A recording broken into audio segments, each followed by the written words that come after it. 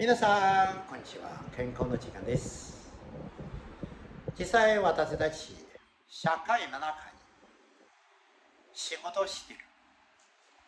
でも大自然の中に生きている。この大自然は私たち周りの環境自分選択やあるいは生きているの場所あるいはこの国この地球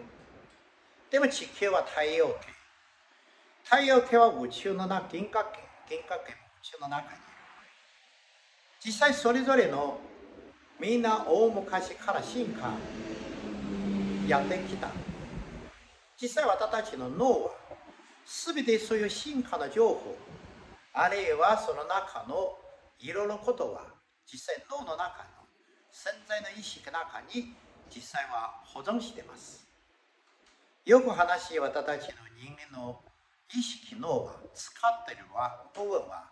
10%未満。あるいは90%以上は実際使ってない。その能力もあ実際は出してない。そっちの情報も出してない。どうすれば実際は私たちもしこの脳の潜在意識の潜在のここの能力はあるいは保存性の地球は初めて宇宙からの進化の情報銀河系からの情報あるいは太陽系昔進化あるいは地球からの進化生物からの進化動物からの人類からの進化などなど実際は私たちの脳の中にみんな保存してます。大体生まれた時に遺伝子、西洋医学遺伝子の形として、実際は本当もっと高いの形で私たち意識の深いところに保存してます。引き出したら